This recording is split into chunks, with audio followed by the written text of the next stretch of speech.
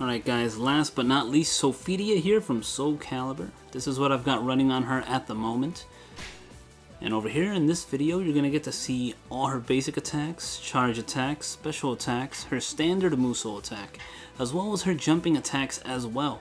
So let's get started with some standard jumping basic attacks.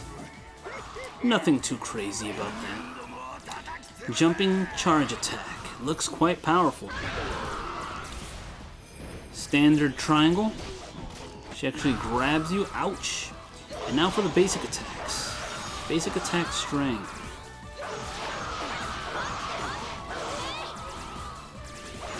One piece.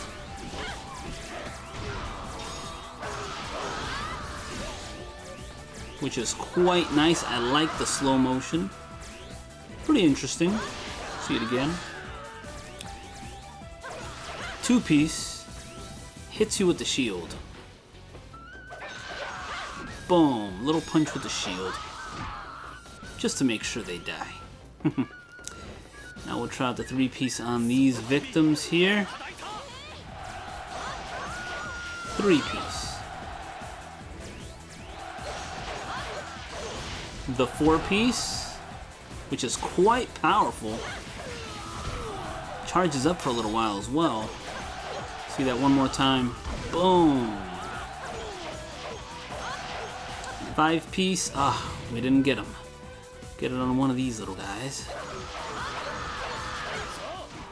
And the five piece into EX. Into your jumping charge attack as well. So your EX is totally worth doing. A lot of damage.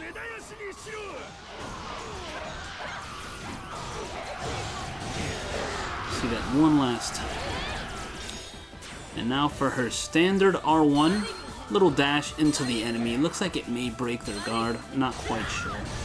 But the jumping R1, the jumping special attack, pretty interesting. So now let's work on getting our Musou meter up. Alright, now that we have it, let's let her rip.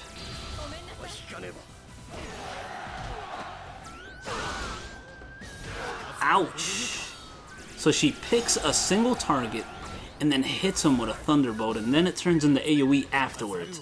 We're gonna try this one more time on a much smaller group because there was too many enemies there and I felt like it was covering up the majority of it. So let's try it on this guy here by himself. Ooh, quite nice. So guys, that's going to be it for Sophitia. Be sure to let me know what you guys think about this character in the comments section. And I'll catch you later. See ya.